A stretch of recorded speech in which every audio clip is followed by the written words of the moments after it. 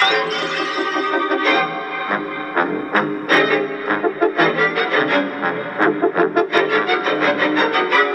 Hello and welcome back to Zak and Buzz's 31 Days of Horror! 31 Days of Horror, where we take a look at 31 titles over the course of the Halloween season to give you a few horror movie recommendations that you possibly might not have seen. And we're really, really, really rocking now. oh yes! Yes, this is this is it. And what have we got today for our special treat for the viewers? Let's find out.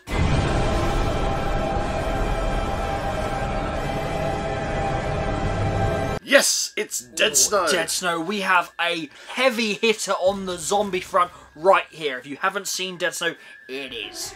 Mm, it's right up there. Don't steal Nazi zombies gold, whatever you do. Yeah, that's kind of the wonderful angle I see about this particular movie is it also delves into the kind of supernatural elements of zombies, Yep. which I feel in some modern movies and through the through the years, it's really kind of gone more towards that kind of Chemical, chemical, virusy, virusy kind of stuff. And stuff, This yeah. Mm, is definitely kind of like supernaturally, but it's all. I just this movie. Not only is it, I mean, obviously it's Swedish, yeah, Swedish, Norwegian. uh, Norwegian. Norwegian. Uh, so yeah, subtitled. Okay, Yep. but but it's got probably one of the best bad guys in a movie you could watch. He, this guy on the front, what's his name? General Herzog. General Herzog. What's the Herzog? Herzog. But he is brilliant. Oh, I love him as a, like a brilliant. Nazi general. And the the again, practical effects that the the movie Yeah. has is just awesome. I mean, t- just to talk about the opening sequence, the music that is played, Hall of the Mountain oh, King, Oh yeah, yeah. just works brilliantly with this particular setting. Obviously, it's a very snowy, one. film. There's a little clue. Eh, you don't normally get many zombie snow films, No, I do don't you? suppose you do. Zombies in the snow. In fact, what they normally do is Hmm. when they have zombies in snow, it's because the snow freezes them and it's a place of safety. Yeah. Not here. Nope, sorry. Not here. And don't steal the gold, whatever you do.